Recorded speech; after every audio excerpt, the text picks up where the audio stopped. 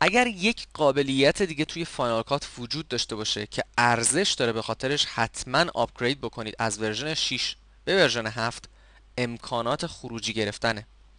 شما تا version قبلی میومدید توی File Export و حالا هر کدوم از این گزینه هایی که اینجا بود رو انتخاب می‌کردید.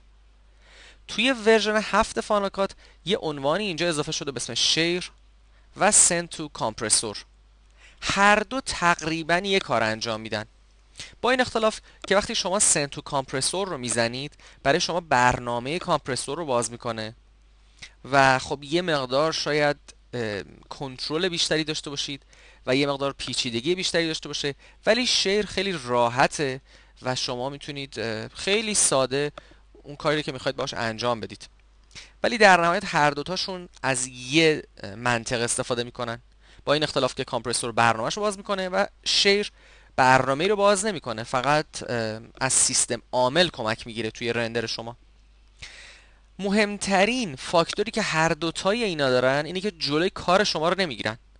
شما چه سنتو کامپرسور بزنین چه شیر رو بزنین می‌تونین همزمان که داره فانکات خروجی می‌گیره کار هم بکنید. یعنی نیاز نیستش که شما کارت رو متوقف کنید تا خروجی تموم بشه و بعد دوباره برگردید مثلا یه سکانس دیگر روش کار بکنید.